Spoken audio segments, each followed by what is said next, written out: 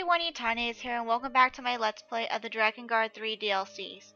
Unfortunately, when I recorded Zero's Chapter Verse 1 originally, um, my game capture studio was glitching out to the point that the video ended up become really glitched out and it wasn't it was just horrible so I have to redo that one um, but I did unlock the first memoir for Zero and that's Mikhail's diary.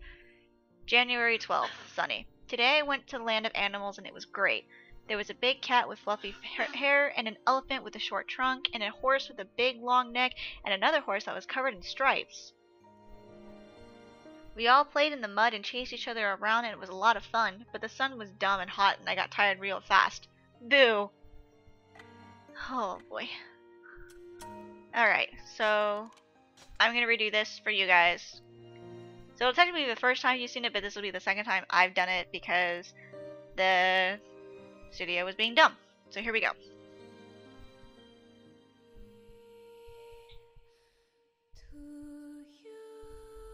Once upon a time, many moons ago, there was an intoner who was infected by a flower. This intoner had five younger sisters. Each of them cursed as well. if you happen to hear googling, force, the intoner began searching for a dragon.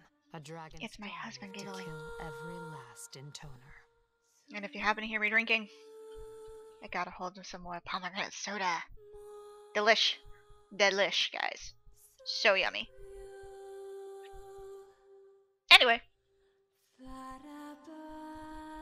After this, I will go find the rest of the weapons. Because this all the DLCs are technically my way of grinding for money. To buy all the weapons that were in the shop. So I'm actually doing this before D, but I'm uploading them at the same time as Branch D. So, you know. Anyway.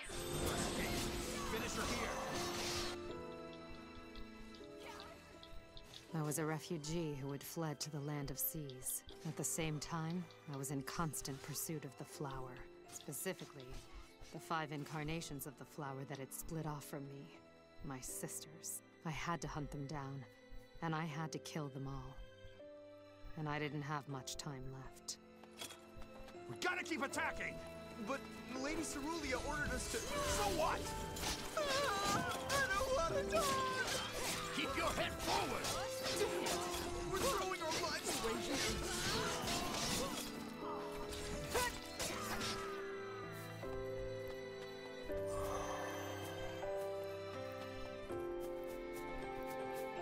I'd rather be killed by Lady Cerulia than this crazy woman!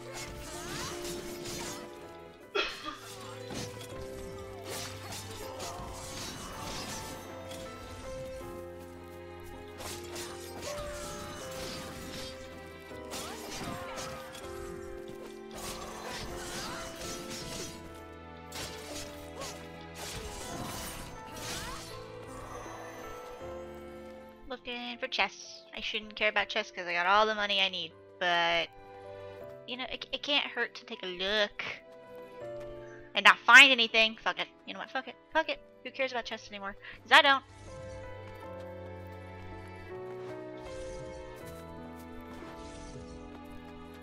Victory to our leader!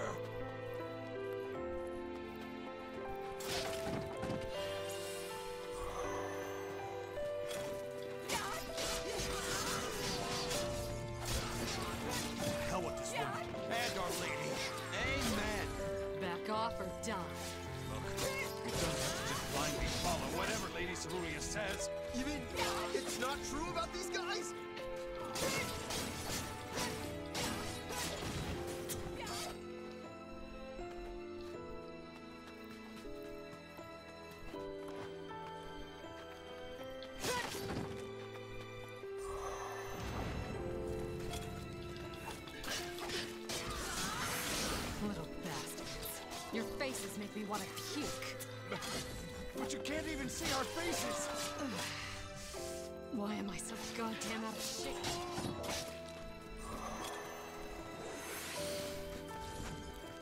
You losers are way too tough for grunts, you know that?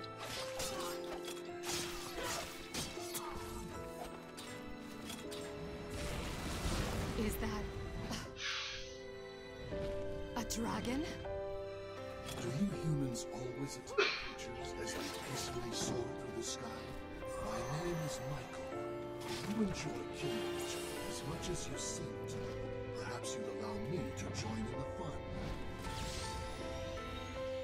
Let's go piss him off. You, the girl in white,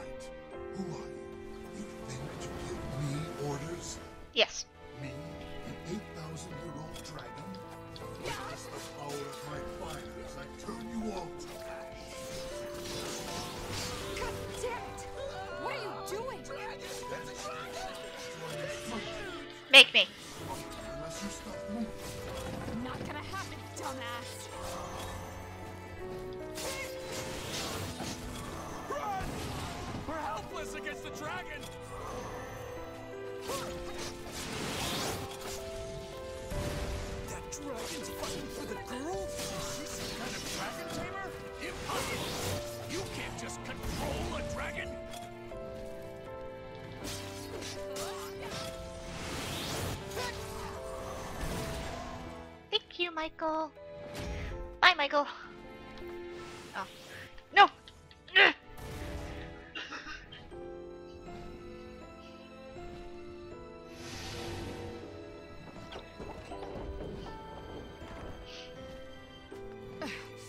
can't deal with this shit anymore. Halt! You cannot escape me. Can too. Na na na na na na. What a prick.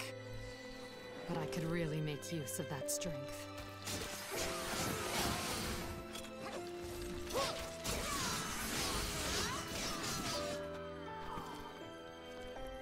oh.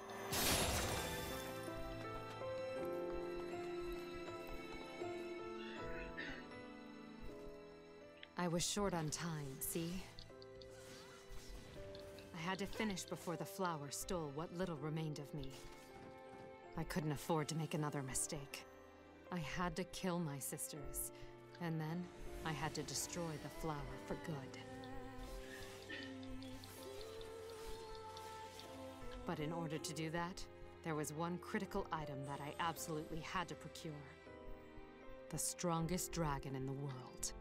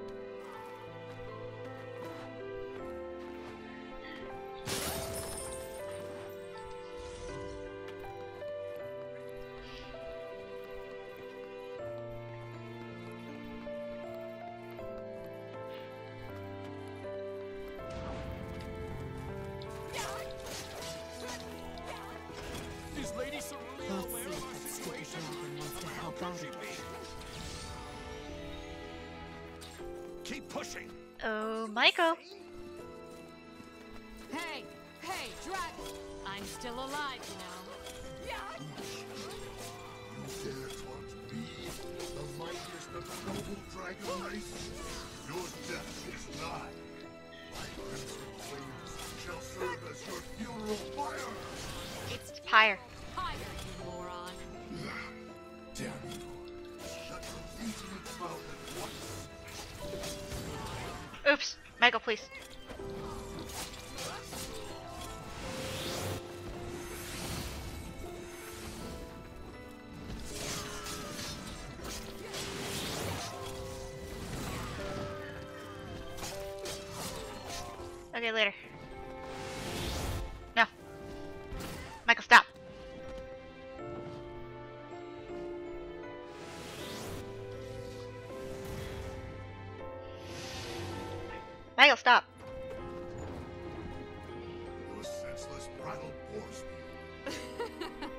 Over here, you dumb flying ox!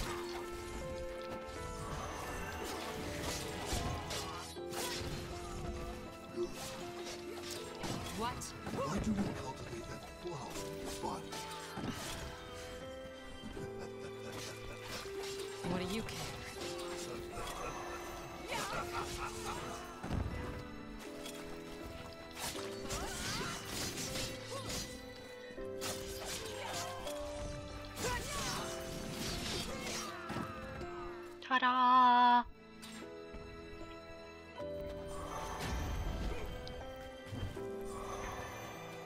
You still live, girl.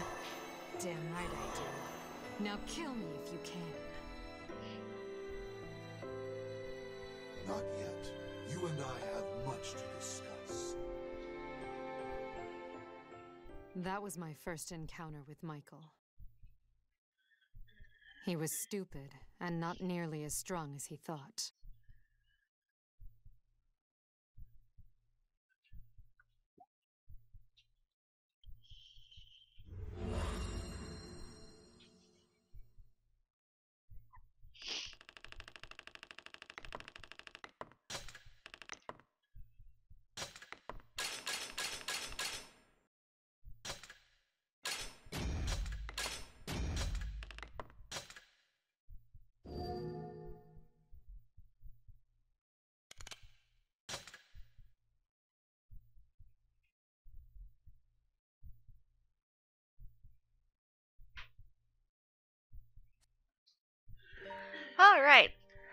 So let us continue on to the second verse of Zero's chapter. And then after that, it will be the end of the episode. I'm just glad that um, my studio is now working properly, which is really nice.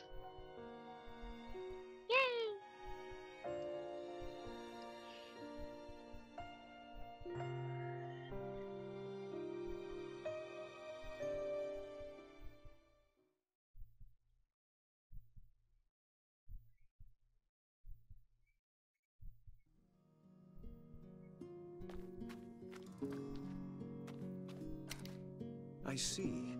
So Mikhail was Michael in the time before his reincarnation? Yeah? And what was Michael called previous to that? I don't know. Michael never liked talking about his past much. I see.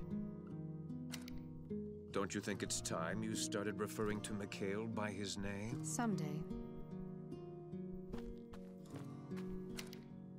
Hey Z, you've been dealing with dragons and junk for a while, right? Mind answering a couple of questions? Sure. Ask me anything. Well, first of all, what do they like to eat? Don't know. Well, then, how do they make fire? The stuff they breathe, I mean. Don't know. Um, okay. So, I heard once that dragons don't have good peripheral vision. Don't know. What about. Don't know. I didn't even ask a goddamn question! Did you and this stupid dragon Michael become best buds right away, or what? What do you think? Seems doubtful. You've been paying attention. So, did you split up after that, or what? Hold on. I'm getting to it. So I'm telling Dito and Decadus about Michael? Which branch is this? We're in the land of sands, so where's Octa? Did we totally like ditch Octa? Did we not go after three? I'm okay, whatever. I'm asking too many questions that don't need to be asked. I'm sorry. I'll be quiet and I'll just I'll just play the game. It's okay.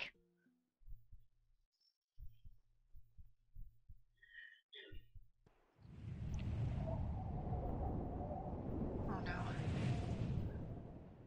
Alright.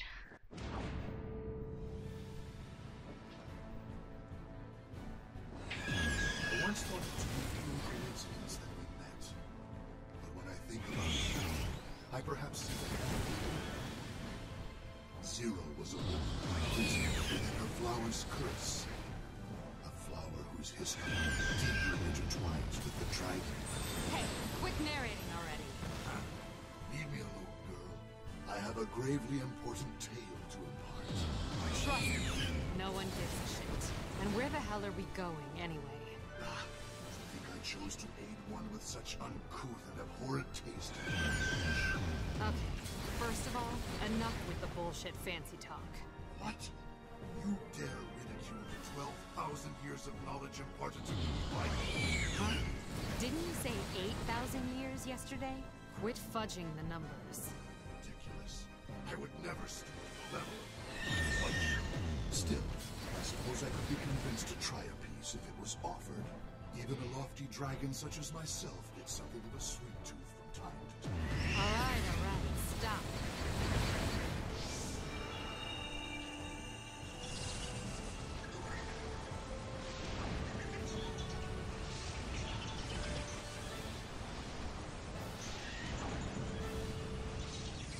What? You're all going down.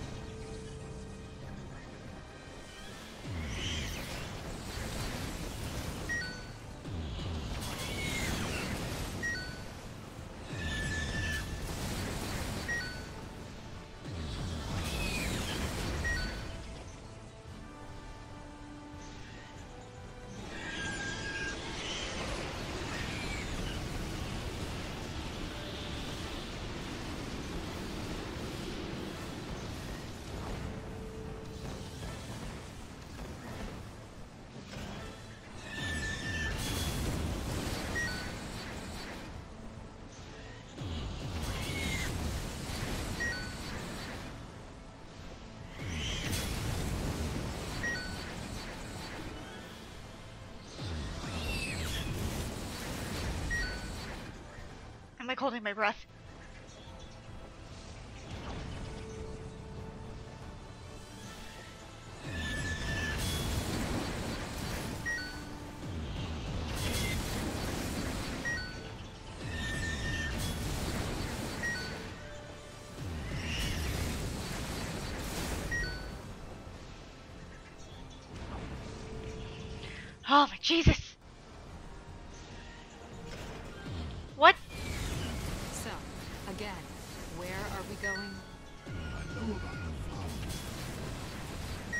Is intrinsically related to my proud dragon race. Michael explained it like this. Dragons have been the natural enemies of the flower since ancient times. And dragons were the only creatures in existence that could destroy the flower. When he saw I was infected with it, it kind of hit a nerve, I guess. Michael kept describing it with words like destiny and preordained. Annoying as hell, actually, but whatever. All I needed was his help. The flower had become my sisters, and they had to be destroyed. And once that was done, I had to be destroyed as well. After I told him that, he stayed quiet for a while. No more. No more, please. Oh god damn it!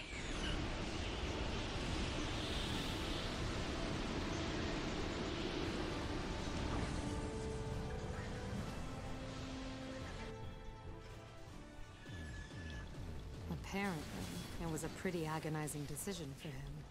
He'd been alive for a very, very long time. Long enough to know every kind of loss imaginable. And sometimes all that pain and loneliness got in the way of his thinking. But after a while, he whispered two words to me. Very well. And that was the start of our relationship.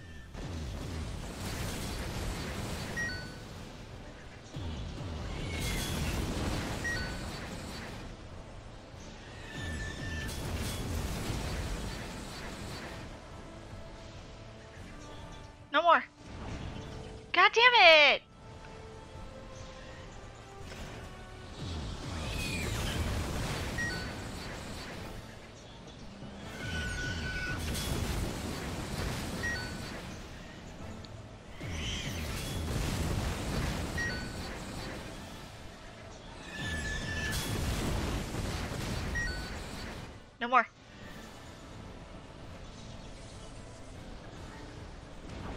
God damn it! Ah!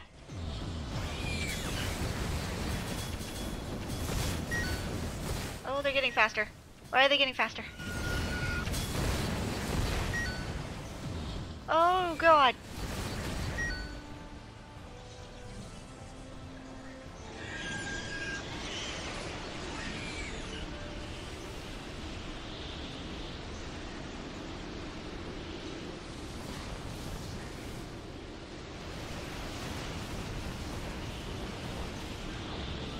God damn it.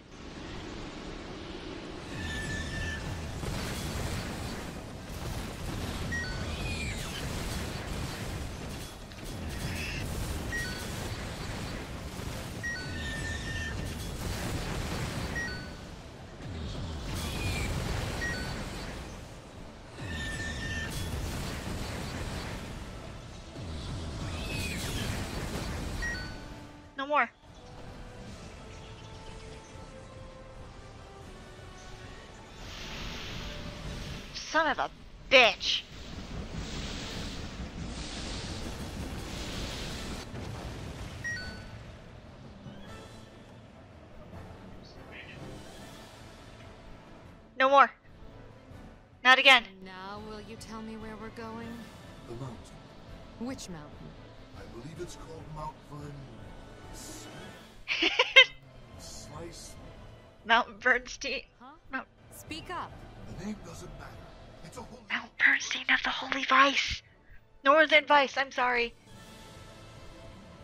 It's Mount Bernstein of the Northern Vice.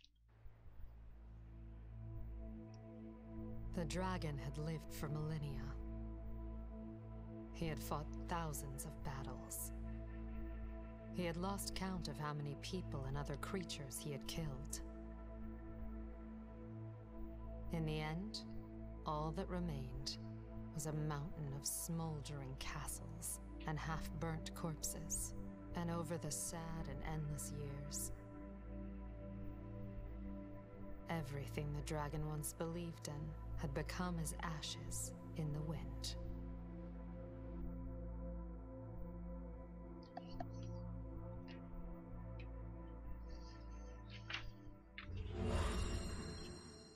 Alrighty, everyone, that is the end of episode 13? Yes. So, thank you guys so much for joining me. The next episode will be the last of the DLCs. I'll see you then.